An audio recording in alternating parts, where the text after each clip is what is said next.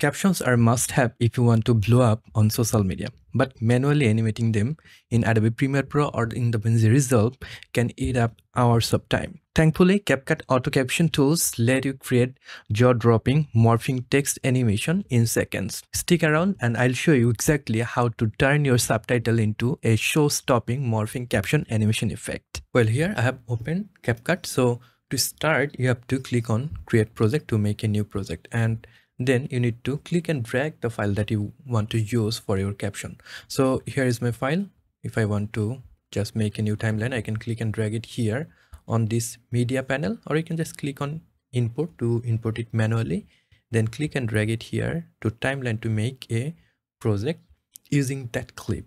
So if you need to trim the clip you can do it. Do whatever you want to edit the video and after doing all the steps then you need to make the captions.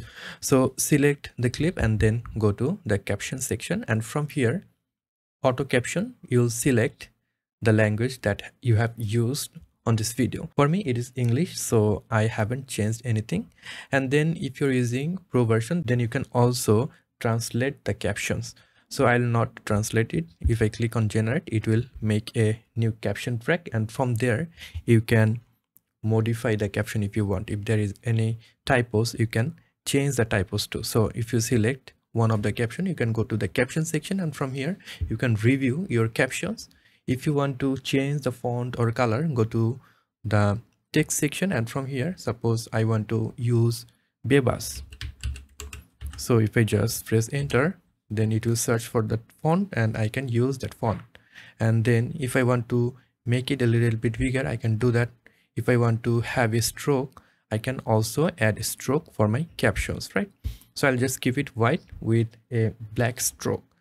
Now the most important step which is you need to apply the animation. That is if you go here on this animation section then go to the caption section and from here you have to select this particular animation to achieve that morph animation effect. So select the bounce out. Thankfully. So what it will do it will separate the words from the sentences. So if i play it back you'll see it is playing word by word not sentence by sentences right?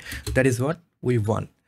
Now once you review the typos do the changes modify the fonts click and drag to select all the captions right click and then create a compound clip out of this caption track right? So it will now act like a individual clip like a video clip.